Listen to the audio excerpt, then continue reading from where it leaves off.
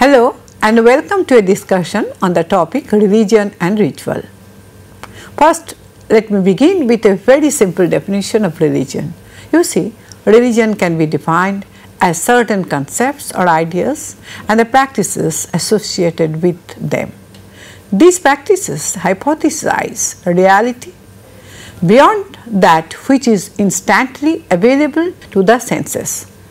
It is a type of worldview that is to say a collective picture of reality created by members of a society that exists in many forms. As time passes and cultures change, religions evolve and change as well. Some popular present day religions include Islam, Christianity, Hinduism, Buddhism and Judaism. Religions have different rituals and practices that accompany and highlight religious experience. However, these rituals are only a very small part of the vast diversity of practices that religions from around the world use. If we consider Christianity, then rituals play an integral part in Christianity. There are many denominations of the Christian church and they differ in the applications of some rituals, but some common ones are worshipping and praying as a community, baptism, confession and communion or the use of bread and wine to symbolize the blood and body of Christ and the power of his salvation. Christianity is not, however, the only major religion to focus on rituals. Participants of Islam, if possible, make the pilgrimage to Makkah in Saudi Arabia at least once in their lives and must pray five times every day at specific times in the direction of Mecca. Then in Judaism, rituals include lighting the menorah, celebrating Hanukkah, abstaining from the consumption of pork and selfish and eating only unleavened bread during Passover. On the other hand, Hinduism involves regularly attending temples, burning incense and make offerings like sweets and flowers to each god's and goddesses altar. So you see every belief system whether it has 100 followers or 100 million followers uses rituals to symbolize important aspects of their faith.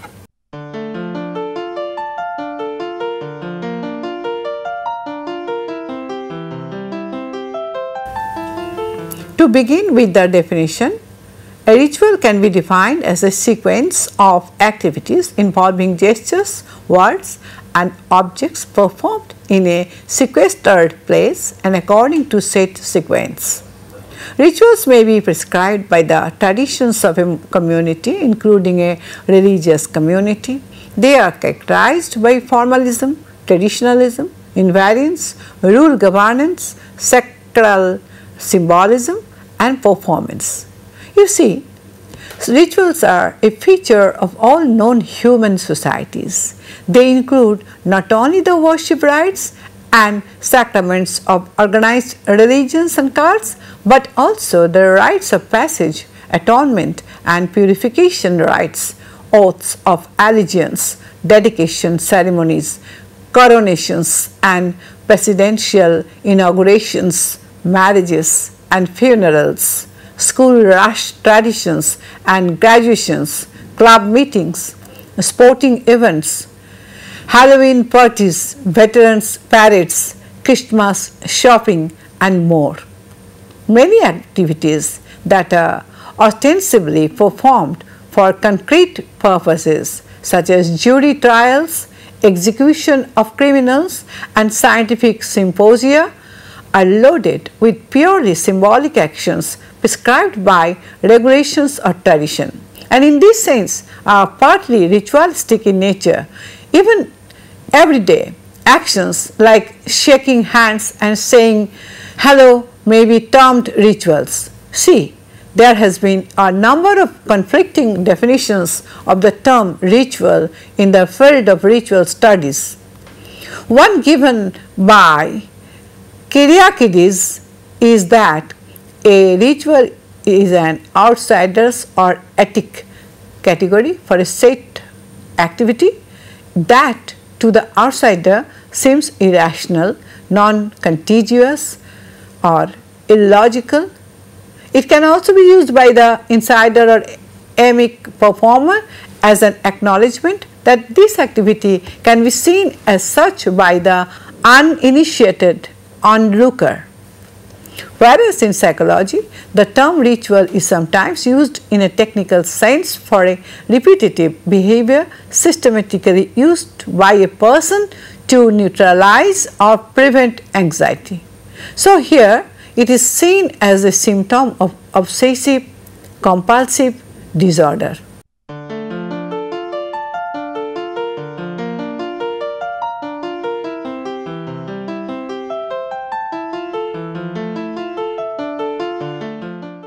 See, there are hardly any limitations to the kinds of actions that may be incorporated into a ritual. The rites of past and present societies have typically involved spatial gestures and words, recitation of fixed texts, performance of spatial music, songs or dances, processions, manipulation of certain objects, use of spatial dresses, consumption of special food, drink or drugs and much more to them. But still if we are to speak of the characteristics of ritual, then it can be said that rituals are characterized by formalism, traditionalism, invariance, rule governance, sacral symbolism and performance as Catherine Bell has argued. In religion, a ritual can comprise the prescribed outward forms of performing the cultus or cult of a particular observation within, within a religion or religious denomination. Although it is often used in context with the worship, the actual relationship between any religion's doctrine and its rituals can vary considerably from organized religion to non-institutionalized spirituality. Also, rituals are often regarded to have a close connection with reverence and thus in many cases they express reverence for a deity or idealized state of humanity. Anthropologists and linguists have long been interested in ritual and ceremony for what they reveal about the religious, political, social and aesthetic aspects of societies and cultures. As a symbolic or performative action, rituals can be explored not only for their meanings, but also for the effects they have on the lives of their participants. Despite all this, the definition of ritual is not quite clear, although it is definitely one of the themes in the area of religion and culture that affects most of us. Such acts, gestures, enactments generally construed are performative in the sense that the essence or identity that they otherwise purport to express are fabrications manufactured and sustained through pre-decided signs and words and a mutual understanding of the participants about the ritual's meaning. Recently, sociologists have broadened the notion of ritual to include the patterned interactions of everyday life, such as etiquette and ordinary daily performances. But in general, a ritual remains to be the performance of ceremonial acts prescribed by tradition or by sacerdotal decree. It is a specific observable mode of behavior exhibited by all known societies. It is thus possible to view ritual as a way of defining or describing humans.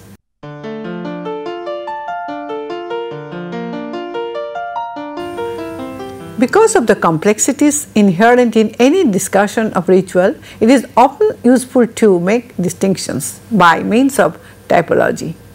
Although Typologies do not explain anything. They of course help to identify rituals that resemble each other within and across cultures. First let me speak of imitative rituals.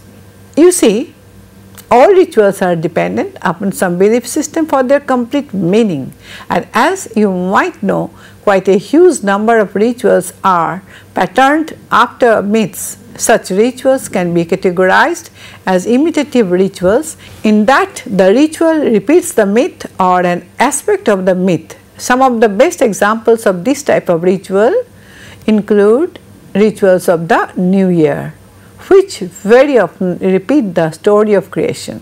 In a passage from an Indian Brahmana which is a Hindu scripture, the answer to the question as to why a ritual is performed has been given by as because gods did it this way in the beginning. That is why we do it now. So, see Rituals of this imitative type can be seen as a repetition of the creative act of the gods, a return to the beginning. Second, I come to sacrificial rituals. The importance of this type of ritual can be seen in the assessment of sacrificial ritual as the earliest or elementary form of religion. The significance of sacrifice in the history of religions is well documented. A sacrifice can be an animal or a vegetable. Like you know in the Sattik way of worship, no blood sacrifices may be offered. Durga Puja on the other hand used to have human sacrifice.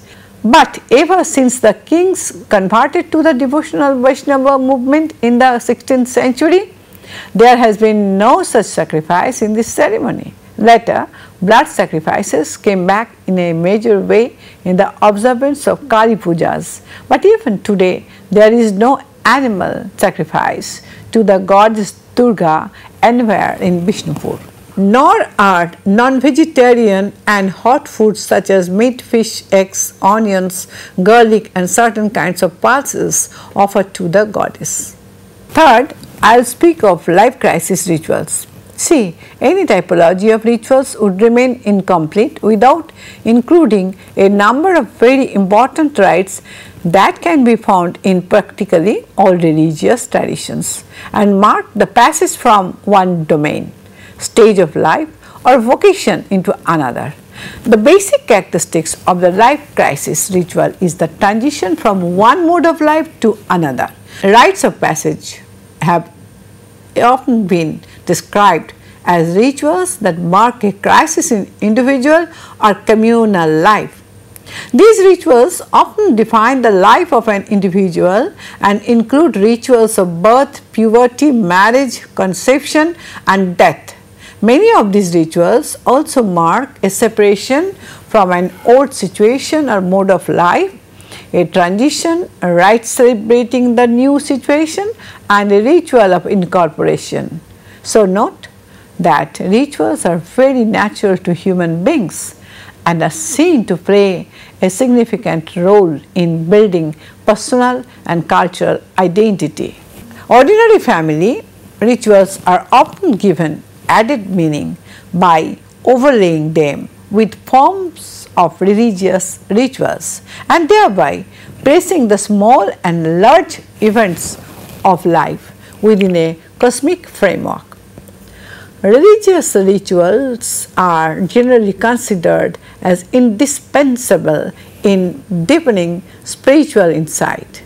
The repetition of rituals instills religious values and attitudes in the lives of the worshippers.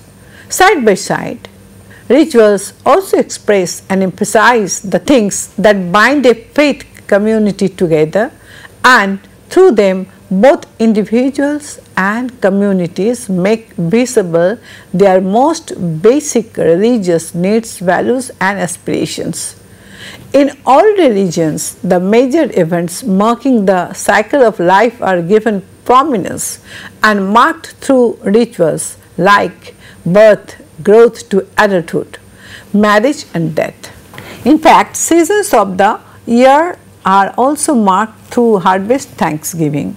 The blessings of the fruit are rituals related to winter and summer solstice, other events not connected to the natural cycle, but observed through annual rituals connected with religious beliefs include the Christian observation of the life of Christ, the Islamic observance of Ramadan and Taraweeh and the Jews Rosh Hashanah and Yom Kippur to name a few. The 20th century liturgical movement within the Christian churches saw a renewal of ritual through revised patterns of worship. The Roman Catholics Second Vatican Council promoted important changes including use of languages other than Latin for services and the designing of new churches giving a greater focus on communal worship. Similarly, other churches and religions have attempted to respond to changes in language and thought. Music has also been quite central to ritual and worship since primitive times. Music reflects moods, can sustain and evoke emotion and ecstasy and is primarily a corporate action. Jews music is clearly known to have descended from the biblical references to the rituals of the temple and King David.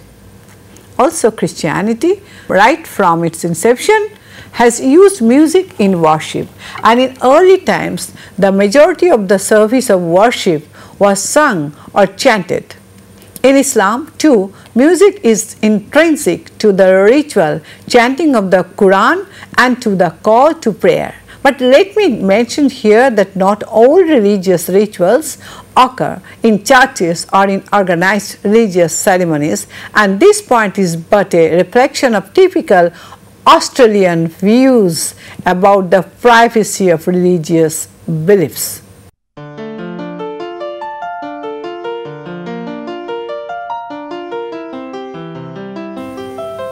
Speaking of some instances of rituals, I will first come to ancestor worship. You see, ancestor worship is basically defined as a religious or spiritual practice which revolves around the belief and that the deceased continue to have a presence after demise and contribute to the spiritual quality of their living relatives. Most religions have some form of ancestor worship and consider the connection they have to their ancestors to be an important component of their belief systems. This type of worship can often be confused with the worshipping of gods and deities, but you must note that it is an entirely separate practice. There are many cultures which see ancestor worship as non-religious, something that simply strengthens bonds with family and offers desired proper respect for deceased loved ones. Others base a person's social status on who their ancestors were and how high on the social hierarchy they were in life. But the truth remains that ancestor worship is mainly performed so that by placating one's ancestors, they may be taken care of in life and death. In return, it also ensures that the ancestors' spirits may be at peace, sacrifice, elaborate burial ceremonies, and the preparation of specific food dishes sometimes accompany this type of worship as well. Next, I will speak of pilgrimage. Well, you must be knowing that pilgrimage is a journey on behalf of ritual and religious belief. One who goes on a pilgrimage is called a pilgrim. Often pilgrims try to obtain salvation of their soul through this physical journey.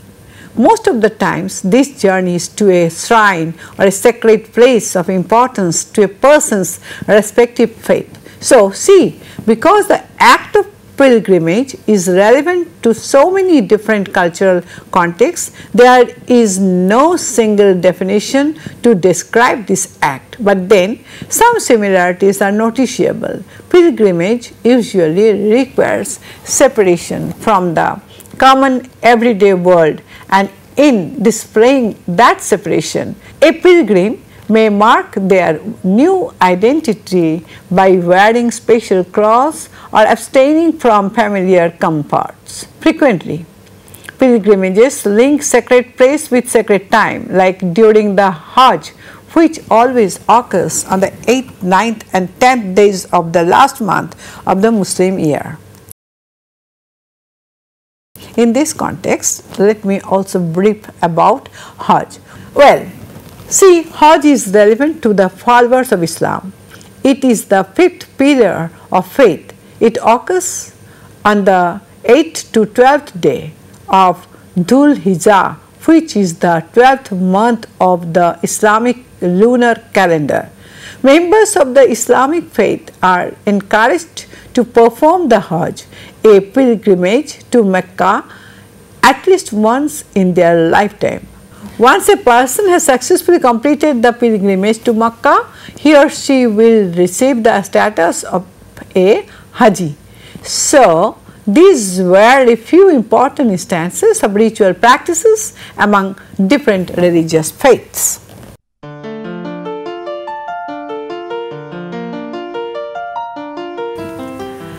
Let me end this discussion with a few noteworthy points. See, Ritual behavior is obviously a means of non-verbal communication and meaning, but this aspect of ritual is often overlooked in the stress on the relation of rituals to myth. Thus, the meaning of ritual is often looked for in the verbal, spoken or belief system.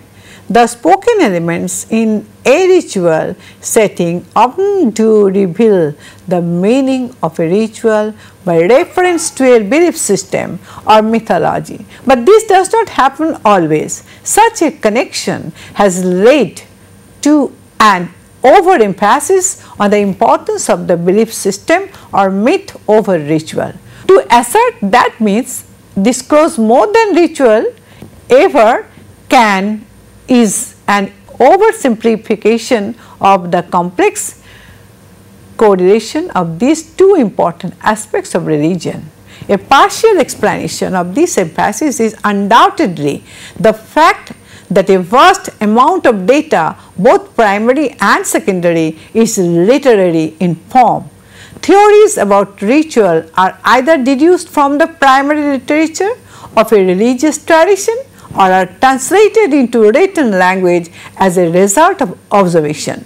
But does this mean that rituals are only to be studied as verbal forms? No, rituals can be of course be studied as non-verbal communication disclosing its own structure and semantics. Scholars have only recently turned to a systematic analysis of this aspect of human behavior and the progress in kinesics that is the study of non-verbal communication may provide new approaches to the analysis of rituals. This development may well parallel the progress in linguistic and the analysis of myth as an aspect of language.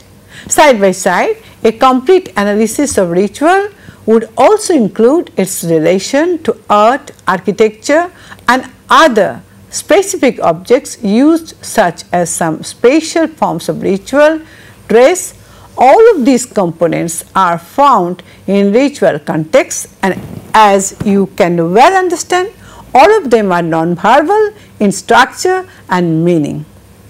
Another important point which is mentioned worthy is that most rituals mark of a particular time of the day, month, year, stage in life or commencement of a new event or vocation. This temporal characteristic of ritual is often called sacred time. What must not be forgotten in the study of ritual is a special aspect that is often described as sacred space. So, see time and place are two essential features of ritual action and both mark a specific orientation or setting for ritual. The shape, spatial orientation and location of the ritual setting are essential features of the semantics of ritual action. Added to this when particular ritual objects, dances, gestures, music and dress are included in the study of ritual, the total structure and meaning of ritual behavior far exceed any one description or explanation of ritual man. Although in recent years there has been little consensus among scholars on an adequate theory or framework for explaining or describing ritual.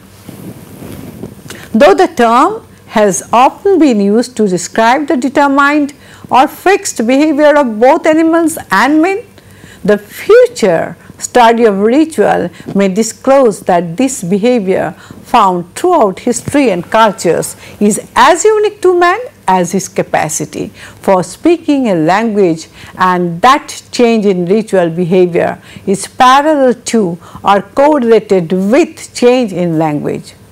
With this we come to an end of the discussion of the module entitled religion and ritual. We will meet again in some other discussion on some other topic.